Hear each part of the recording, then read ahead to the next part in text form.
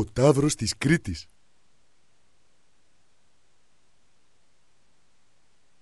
Ο, ο Ταύρος της Κρήτης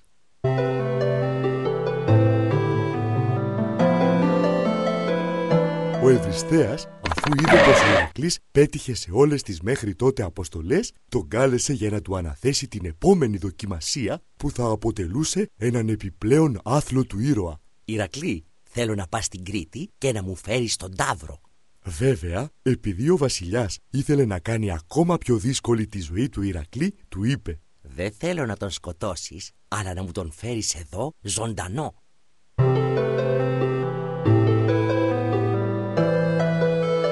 Ποιο ήταν όμως αυτό το ζώο που φημιζόταν για την ομορφιά του; Ήταν ο Ταύρος που είχε στείλει ο Ποσειδώνας μέσα από τη θάλασσα στο βασιλιά της Κρήτης Μίνωα για να τον θυσιάσει. Ο βασιλιάς όμως όταν τον αντίκρισε θαμπόθηκε από την ομορφιά του και θυσίασε στη θέση του έναν άλλο. Ο Ποσειδώνας θύμωσε τόσο πολύ που τρέλανε τον Ταύρο ο οποίος στη συνέχεια προξενούσε τεράστιες καταστροφές στο νησί.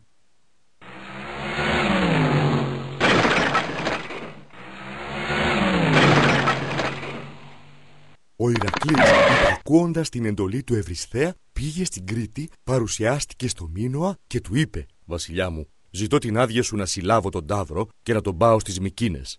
Τότε ο Μίνωας του απάντησε Αν καταφέρεις να τον δαμάσεις, είναι δικό σου.